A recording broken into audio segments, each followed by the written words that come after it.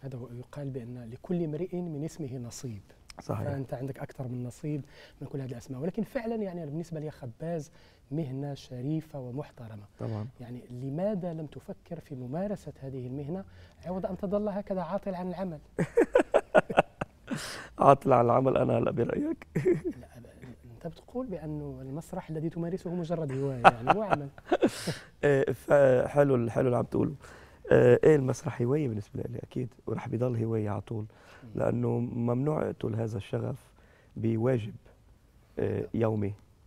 آه، وإنه هلأ الليلة عندي عرض وعندي مسؤولية وعندي لا لازم يضل هذا العرس اليومي هذا اللقاء الجماعي اليومي.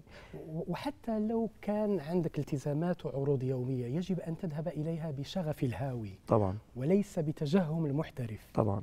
وإلا طبعاً. كل شيء يفقد هنا تلك الروح. هيدا عم نحكي بالعروضات.